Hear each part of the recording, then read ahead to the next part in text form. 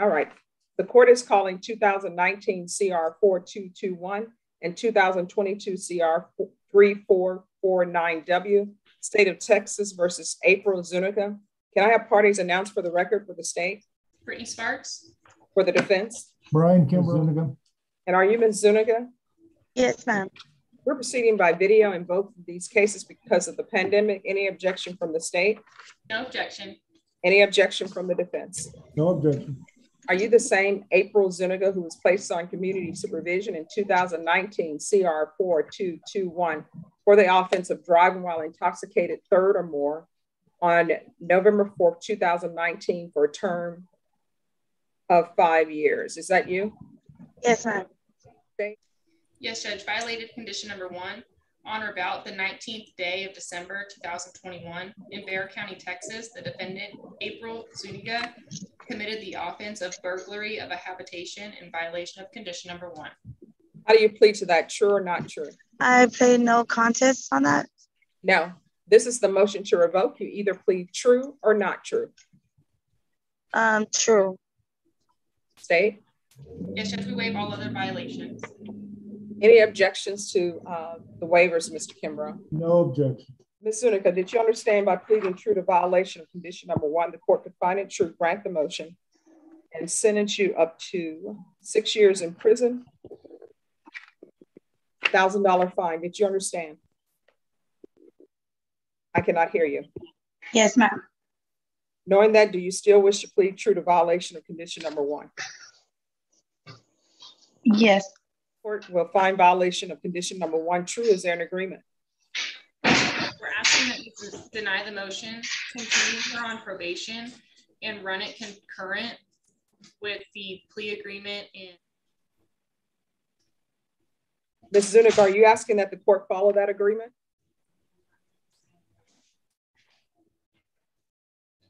Ms. Zuniga, yeah, yes, we are asking. All right, can you? Yes, please. Yes, yes. Are you waiving your right to appeal? Um, yes. Ms. Zuniga, I'm showing you what's entitled Application for Community Supervision. Did you review that document with your attorney? Did you understand it? Yes, ma'am. And did you sign it? Yes, ma'am. Counsel, I'm showing you the discovery acknowledgement. Have you received all the discovery in this case and did you review it with your client? Yes, Your Honor, I did. Ms. Zuniga? Yes, ma'am. Are you not able to find a place other than a commercial restroom? Um, okay, no, I just came out of there. Sorry. Because I was in like right here at my son's school for the pickup. Okay. Sorry. So no, is there some other place other than a restroom? We don't want to hear toilets. Oh no no no no no no no no no. I mean no yeah I already came out of there. It's just because I was in my son's school like picking them up. So I'm like I'm not in the restroom. So did you just leave the restroom? Yes, ma'am.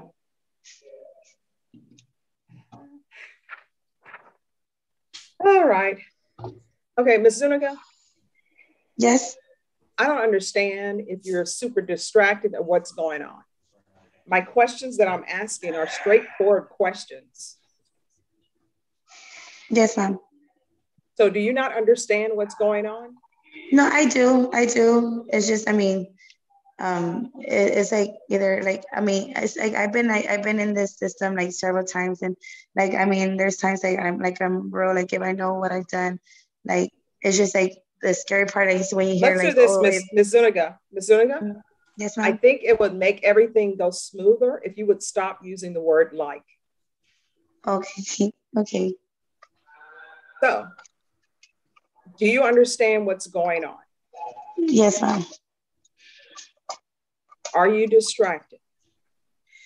No. Did you understand you're charged with burglary of a habitation by force? That's a second degree felony. The range of punishment is anywhere from two to 20 years in prison and up to a $10,000 fine. Yes, ma'am. Court will find that the defendant has knowingly and voluntarily waived her right to jury trial. Outside the plea-bargain agreement, the state is recommending that your community supervision be for a term of four years. There be 120 hours of community service restitution, substance abuse treatment facility, no contact with John Henry Cavazos, Michael Martinez, and Elizabeth Martinez. Did Okay. you understand that those were recommendations from the state and the court does not have to follow those recommendations? Yes, ma'am. Then to the offense is charged in the information. How do you plead? Guilty, not guilty, or no contest? No contest. State any evidence. Offer States Exhibit 1 and all attachments. Any objections? No objection. will find that defendant has knowingly and voluntarily waived and consented to stipulation of testimony and stipulations. Court will accept into evidence states exhibits one and attachments and review the same.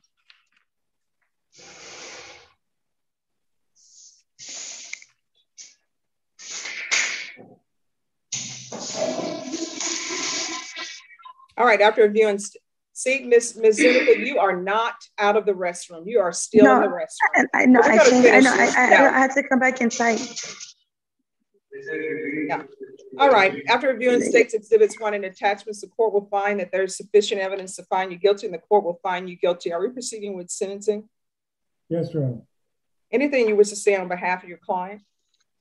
Your Honor, I would ask the court to follow the plea bargain. Yeah, if you're drug tested today, what are the results going to be? They should be negative because I just did my UA with my with my probation officer this month. I, I No, no, You're, you're gonna I'm do so- another UA. yes, I'm supposed to do a UA. I I'm supposed to have a probation visit on Friday. No, no, no, you're gonna do a UA tomorrow. So, uh, we're gonna sentence you to four years in prison, suspended and probated for four years, a thousand dollar fine probated. This is ranking current with two thousand nineteen CR four two two one. One hundred twenty hours of community service restitution, forty of those hours will be waived if she provides proof of the COVID vaccination. I'm not requiring anyone to get the COVID vaccination, but if she does, forty of those hours will be waived. Parenting classes, Ms. Zuniga, I wish there was a class I could give mothers and fathers that I mean, was some kind of class, Ms. Zuniga, that was some kind of class to say, stop letting complete strangers around your children in your children's life. But I don't have that type of class. So parenting classes, if she completes parenting classes, Mr. Kimbrough, she won't have to do the remaining hours of community service. And Ms. Zuniga, if I could make it so that you're not involved with anyone until your children are of age and can take care of themselves, I would. But I don't have the ability to do that. There has to be regular reporting by Zoom or in person. Proof of Yes. employment within 15 days. Okay. There's to be no employment as a home health care provider or with minors. And there's to be a UA tomorrow. Tomorrow. If you're able to get one done today, then you can do it today. All right. Yeah, so no, there's to be kids. regular reporting by Zoom or in person. If she's positive, then I'm going to want intensive outpatient treatment with probation and a referral to felony drug court. All right, Ms. Zuniga, I want to, ex- we're off the record. I want to explain something to you. I've been a defense attorney, I've been a prosecutor, and I've done CPS cases. Your attorney has done CPS cases. Let me tell you what I used to always see. What I would always see is you would have a female meet some guy who knows where, sometimes at a bar, sometimes at a bus stop, wherever. They would meet them on Friday, bring them to their house on Friday. They never leave. Next thing you know, they're babysitting the children. And then, in the words of Seinfeld, yada, yada, yada, either a child is raped or a child is killed, and mom is crying because she's let some complete stranger around her children. So, in this situation, you have some random guy that you said you didn't know that well breaking into a neighbor's house, stealing things, and now you have a burglary of habitation. So you need to be very careful, one, who you allow around your children and who you allow around yourself. With that being said, I'm going to send you to a breakout room and probation will go over conditions with you. Mr. Kimbrough, thank you for your patience. And you can. Court is calling 2019 CR 4221 and 2022 CR 3449, State of Texas versus April Petulia Zuniga. Could I have parties announced for the record for the state Daniel Escobar for the state of Texas. defense? Brian Kimbrough for Ms. uh, Zuniga. Ms. Zuniga, in each of these cause numbers, I'm showing you what's entitled motion to revoke community supervision. Did you review those documents with your attorney? Did you understand them? Yes, ma'am. All right, I'm gonna need you to speak up. Yes, ma'am. Are you the same April Zuniga who was placed on community supervision in 2019 CR 4221 for the offense of driving while intoxicated third or more on November 14th? I'm sorry, November 4th, 2019 for a term of five years. Is that you? Yes, ma'am.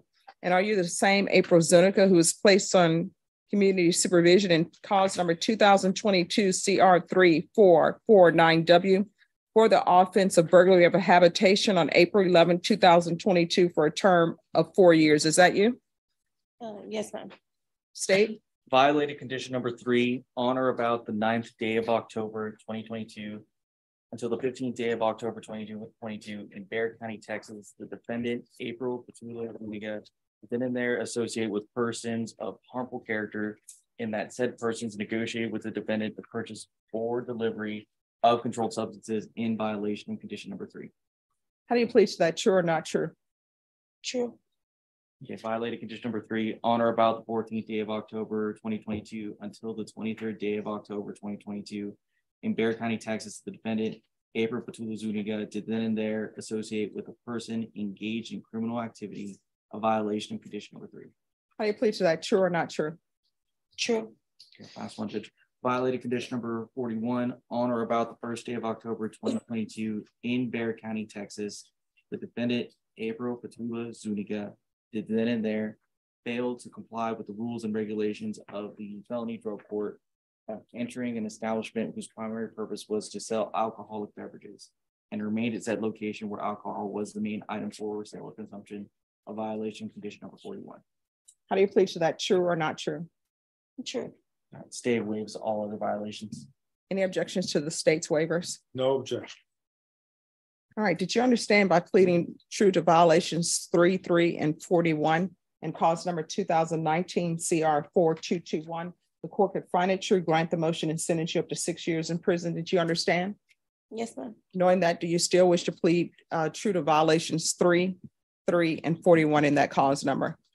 Yes, ma'am. Court will find that true. And in cause number um, two thousand twenty-two CR three, four, four, nine W, did you understand by pleading true to violations three, three, and forty-one? The court could find it true, grant the motion, and sentence you up to four years in prison. Did you understand? Yes, ma'am. Knowing that, do you still wish to plead true to violations three, three, and forty-one? Yes, ma'am. And that cause number, the court will find three, three, and forty-one true.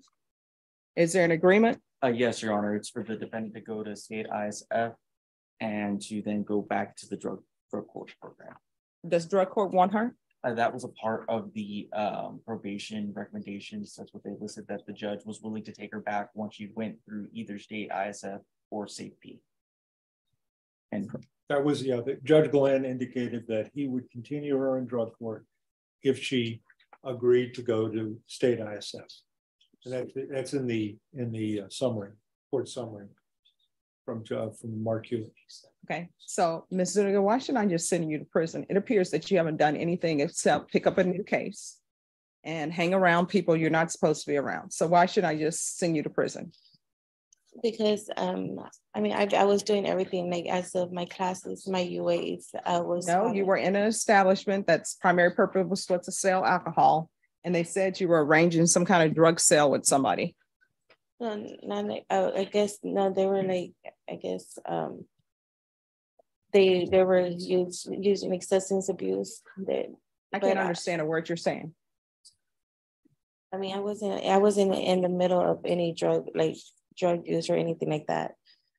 The main thing I noticed is that Judge Glenn, whom I know and I respect, said that, and he knows this much better than I do, that he would be willing to keep her in drug court if she went to state ISF. Now. I mean, I don't know him, I respect him too, but I still don't understand why I should do it. Well, I, again, I don't know the, the details of what happened with these individuals that she was associating with. She's not charged with any criminal offense other than me. So she's not accused of being involved in a drug deal. I don't know what that, I mean, I understand how it's worded, but I don't know what the, what the actual facts are in that. I've asked April, and frankly, April's not helping me and I don't understand what happened, but The main thing I, I find is that she, the judge, that the drug court said they will keep her. From my experience with drug court, they normally don't do that unless they see a reason to keep her, because otherwise they want her out. They don't keep people that they don't think could benefit from drug court and could succeed, could succeed. Judge Glenn feels that she needs to go to inpatient and ISF is appropriate. I'm only asking the judge to give her that opportunity based on what the recommendation from Judge Glenn is. See, I don't know why they didn't just keep her then and send her to ISF. Well, I, I don't know how that works because I mean, they accused her of violating her probation. So I'm assuming that do they have their own MTR deal in drug court? I mean, they could just not send her in. Um, we're gonna go off the record for, Yes, Judge. and we're not on the record. Ms. Zuniga, how old are you? thirty-two. All right, so here's the thing. You have, could everyone please whisper? You've already entered your pleas of true. And I understand that people are in different seasons of their life. And I understand that sometimes people are treated badly in life. I understand that sometimes people are misused and abused in their life. But uh, I went into the hallway because I wanted to speak with Judge Glenn, and your attorney was present, and the state's attorney was present. Uh, it's very difficult to speak on the bench with another judge. So that's why we were in the hallway. And we were discussing things with Judge Glenn, and here's the problem. The problem is people are trying to help you, people are trying to work with you. And I know sometimes it's difficult to change people, places, and things, but in order to be successful, you're going to have to change people, places, and things. And I used to always think that was easy to do because I worked as attorney in all the treatment courts before, right? And I was the original attorney. And when people would say, you need to change people, places, or things, I'd be like, hey, that's easy. But then when I started thinking about it, for example, if people told me to change people, places, and things, and they say, okay, Judge Boyd, this is what we want you to do. We want you to hang out with people who sell drugs. We want you to hang out with people who use drugs. That would be very difficult for me because of the circles I'm in. I don't know a lot of people who use drugs or sell drugs. Now I have people who come before me in court who do that, but it's not like these are the people that I am having dinner with or lunch with or say, hey, let's go painting with, let's go do painting with a twist. And while we're there, maybe we can sell drugs. So it would be very difficult for me to change people, places, and things. And so in your situation, these are the people you've been hanging with. But if you want your life to be successful, and if you don't want to end up in prison, then you're going to have to change your people, places, or things. I was about to send you to prison and not for two years. I was going to send you to prison for six years on one case and four on the other. And you need to make a decision on whether or not you want to go to prison. And you have children? Yes. You need to start asking yourself each time you're getting ready to do something, you need to ask yourself, is this something that will result in me not seeing my children for six years, or not seeing my children for four years, or going to prison for six years, or going to prison for four years? Do you understand? Yes, ma'am. At some point, you need to start putting your children above your wants, your needs, above the people you hang out with. Do you understand? Yes, ma'am. Now, Judge Glenn said he's willing to accept you back into felony drug court. So we're going to put a hold on her and the whole is for felony drug court. And so felony drug court is going to take care of what they do with you. And I'm telling you right now, you're looking at either SafeP or ISF with them. If you don't want to do SafeP with them, you need to tell me now because if you don't want to do SafeP with them, then I can send you to prison. We can move on to the next person. Do you understand? Yes, ma'am. So if they uh, order you to SafeP, are you going to be doing that? If, that's the only choice I have, but if, um, Yeah, that may be the- your only choice. And they won't have state ISF. What I'm telling you is, my question for you is if they order you to go to SafeP, are you going to do it? Yes, ma'am. That's my only question. We can't write our own programs. If you could write your own program, guess what? You wouldn't be on probation for this because you would have been successful at it. So I'm not making a ruling. We're going to refer her back to felony drug court and she's to remain in custody for felony drug court.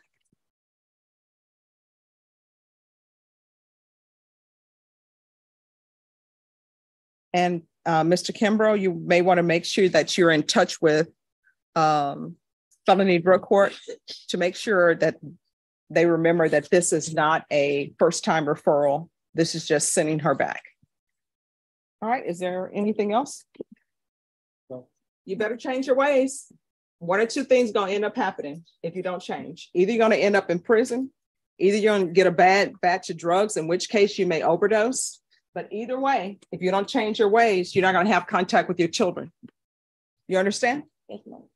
All right, is there anything else? I think so. All right. Uh, How long does the notary take for the felony drug court to?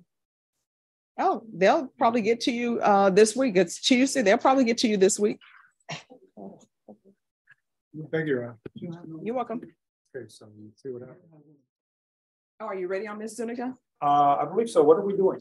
Are we All right, doing- can I have the follow, Ms. Zuniga, please? Is that it? Just give me one second. So we're on the record in two thousand twenty-two CR three, four, four, nine W and two thousand nineteen CR four, two, two, one. State of Texas versus April Zuniga. Can I have parties announced for the record for the state, Uh, Jason Garahan, Your Honor. for the defense? Brian Kimbrough. And are you Ms. Zuniga? Yes, ma'am. All right, so we're here on December thirteenth, the defendant entered a plea of true to three, three, and number forty-one. The court found three, three, and forty-one true. Uh, the state had waived other allegations. Uh, defense counsel in the state uh, conferred with the court. And we all conferred with felony drug court. Felony, well, not with this state's counsel, but the previous state's counsel. And felony drug court uh, wanted her to remain in custody and they would accept her in felony drug court and send her to inpatient treatment. But felony drug court um, is informing the court that they're unable to accept her and form probation. They will not be able to accept her. So the court cannot refer you to felony drug court, but you do need treatment. Uh, Ms. Zuniga, can you raise your right hand for me, please? Do you solemnly swear affirm that the testimony you give will be the truth and nothing but the truth, so help you God? Yes, ma'am. All right, if you can state your name for the record and you can lower your hand. April Zuniga? All right, so Ms. Zuniga, um, I can either send you to inpatient treatment, which I think you needed. That's why I referred you to felony drug court. Or if you want to renegotiate and be revoked, that can be accomplished as well. So would you like to get inpatient treatment? Yes, ma'am. All right, good choice, because we are trying to better ourselves, right? And we don't want to come back here. All right, so what I'm going to do then is um, I'm going to refer you uh, to SafeP. Probation, what's the wait time on SafeP? Approximately seventeen days, Your Honor. All right, so they'll get you, they'll probably do a um, screening, but they'll get you there uh, quickly. All right, any question? I have Yes, question. Want to confirm that that's on both cases. that is on both cases. The question, Ron. Yes. So as I understand it, she is not going back to drug court. Once she finishes SafeP, she's gonna be in this court for the rest of her probation. You will be in this court unless you want to be referred back to felony drug court because felony drug court is at capacity. And I know that sometimes people say felony drug court is hard, and it is. I mean, yeah, it's, I mean, it's, it's like, I mean, it was like, you know. yeah. But here's the thing it may be what's best for you because when you have a drug problem, you need somebody that can see you daily. I know they see you daily. I know they get reports on you weekly. I can refer her to SafeP, which I'm doing, and I can refer you to felony drug court after you're released from SafeP. I guess I'll go through you. Go through you. See, people think uh, this is a great court All right, so um probation, after she completes SafeP, I am going to want um field visits. We're gonna start with field visits once a week. And if she's doing well on that, we will slowly taper it off. But I want field visits once a week for at least a month, and then we'll slowly start tapering it off. If she's doing fine, Then we'll do field visits twice a month for two months. And then we'll go down to field visits once a month until further notice. All right, is there anything else from either side? Nothing for the- Nothing from state. All right, Ms. Zuniga, any questions? Do you want to complete this successfully? Yes. Get your life together? Yes. All right, we can go off the record. So what's up with the neck tattoo? Who is that? And then it's just like a tattoo where it says you're not normal. All right, so is it anybody you know or it's just? No, no, no, it's just a regular tattoo. All right. I always, wa- No, yeah, I'm always wondering why people get tattoos, what they're about. I Okay, didn't, I finished. all right, thank you. Thank you. Thank you. Thank you. Um,